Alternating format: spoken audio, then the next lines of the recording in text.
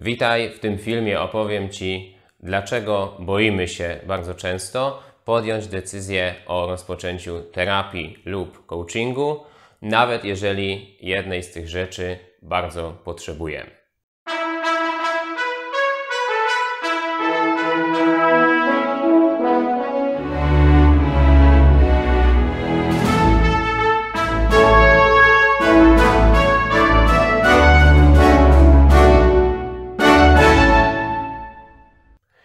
Tym filmiku nie będę raczej jakoś specjalnie dużo energii Tobie przekazywał, nie będę tu skakał, nie będę dodawał dużo ironii, bo temat jest raczej taki, powiedziałbym, delikatny, więc może to jest taki filmik do słuchania sobie gdzieś tam bardziej wieczorem, ale jest on też filmikiem bardzo istotnym. I on w ogóle, jakby popatrzeć sobie, dlaczego to nagrywam, tak? z czego to się wzięło, że chcę się czymś takim podzielić. Otóż on właśnie wynika z wielu rozmów, które też odbyłem z ludźmi, i to zarówno, którzy mogliby stanowić takie przykłady, nazwijmy to pozytywne, czyli poszli na terapię i rzeczywiście dużo im to dało, albo zaczęli pracować z coachem i dużo zmienili w swoim życiu dzięki temu, albo też przykłady negatywne, czyli takie, że ktoś niby widzi już od dłuższego czasu, że fajnie by było się y, na tej terapii pojawić, fajnie byłoby poprosić kogoś z zewnątrz, może właśnie coacha, o pomoc, no ale nie dzieje się to i mm, przez to życie tej osoby stoi w miejscu albo wręcz tkwi w pewnym błędnym kole, które powoduje, że z czasem wręcz jakość życia się obniża. Więc y, ten filmik będzie po pierwsze mm, wyjaśniał, dlaczego się boimy, i tutaj podam Tobie pięć powodów, takich konkretnych kategorii, nawet powiedziałbym powodów, bo pod każdą z nich może stać kilka konkretnych, jakichś już e, bardziej takich namacalnych, precyzyjnych rzeczy, ale te kategorie, no to po prostu są pewne przyczyny, więc tak mi to łatwiej poukładać. No i też będę przedstawiał, będę bronił pewnej tezy, mianowicie takiej, że przyczyny te są same w sobie rozwiązaniami, czyli że dlatego nie idziemy na terapię, bo czegoś tam nie rozumiemy, ale zazwyczaj dopiero w trakcie tego coachingu czy terapii rozumiemy te rzeczy. Czyli trochę jest tak, że żeby pójść po rozwiązanie, to trzeba by już było znać pewne elementy, które są w tym rozwiązaniu. No ale jednocześnie ten filmik ma być y, takim pomostem, czyli ma na celu Tobie już dostarczyć wcześniej te rozwiązania, pewne elementy myślenia, nazwijmy, w mindsetie terapeutycznym czy też coachingowym, zanim ty tam pójdziesz, tak? Czyli nie musisz już e, zdobyć tych informacji stamtąd, tylko możesz je zdobyć wcześniej, to pozwoli ci łatwiej podjąć decyzję. Więc taki jest cel tego filmu. No i na początek jeszcze też taki krótki disclaimer, bo może się ktoś e, zastanawiać, dlaczego ja wrzucam jakby to do jednego wora, gdzie jednak coaching, a terapia to pod pewnymi względami są całkowicie różne rzeczy i w różny sposób się nad tym e, pracuje, w ogóle z różnymi specjalistami. Ja na przykład coachingiem się zajmuję, natomiast nie zajmuję się terapią. Być może w przyszłości będę to robił, ale na chwilę obecną zajmuję się rozwojem osobistym, zajmuję się szkoleniami, zajmuję się coachingiem, ale nie terapią. I istotna kwestia jest taka, że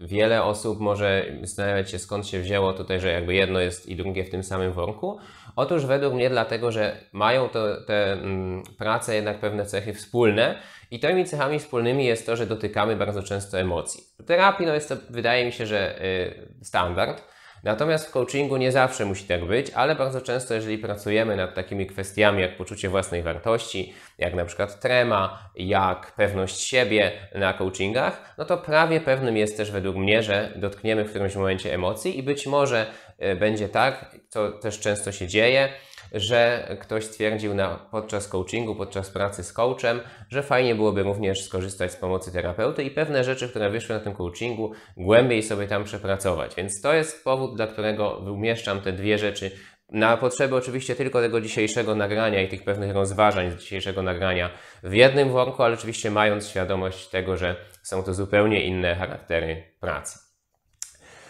I teraz tak, przechodząc już konkretnie do tych powodów, pierwszy powód według mnie to jest sieć skojarzeniowa. I ogólnie jest tak w naszym życiu obecnym, w naszej kulturze, że nasza sieć skojarzeniowa jest nadaktywna. Czyli mamy po prostu bardzo dużo różnych skojarzeń z różnymi rzeczami, i one są rozbudowywane niezależnie od nas bardzo często. Czyli rozbudowują nam to na przykład reklamy,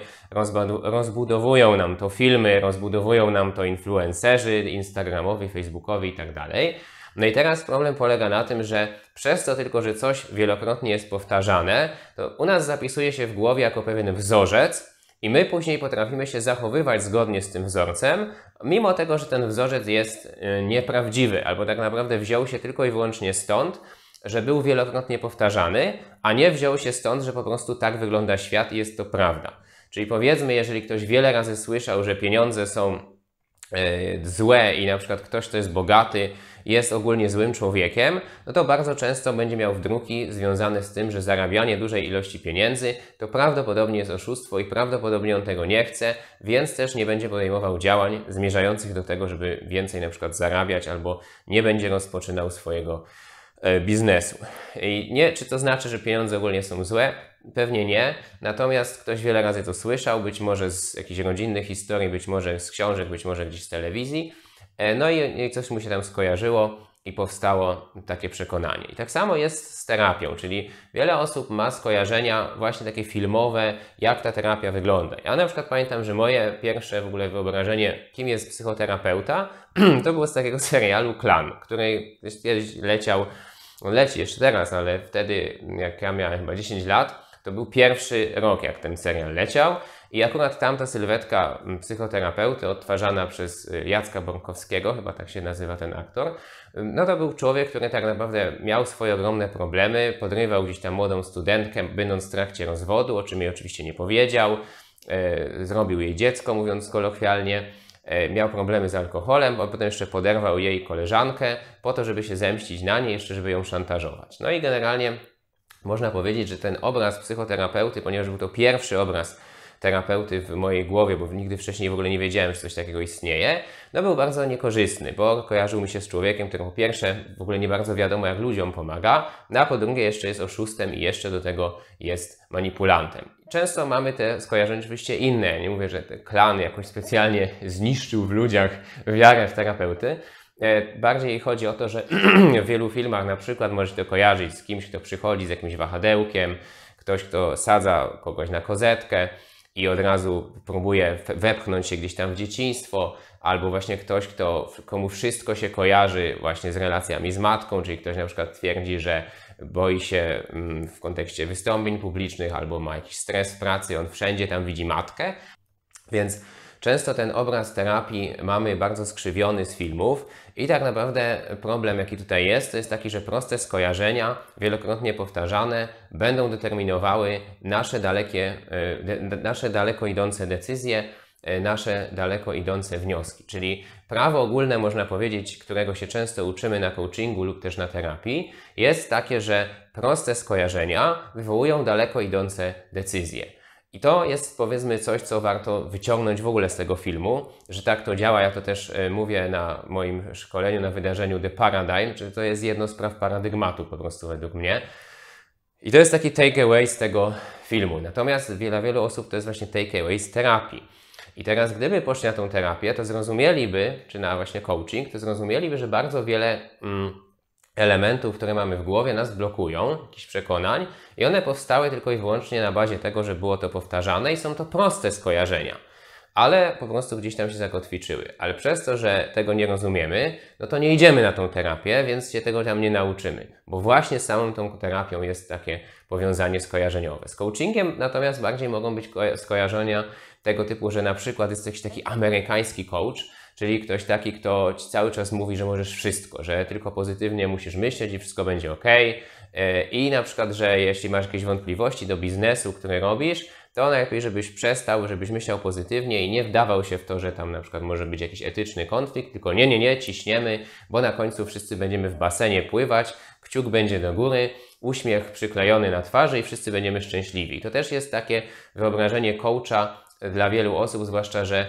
faktycznie 10-12 lat temu, może 15, jak gdzieś tam rozwój osobisty do Polski wchodził, no to niestety wiele, wielu coachów, którzy wtedy byli popularni, e, w ten sposób właśnie się reklamowali, w ten sposób to wyglądało. To był taki nurt dominujący, takie właśnie positivi, e, które jest według mnie mocno zakłamane już dzisiaj raczej tak nikt nie robi.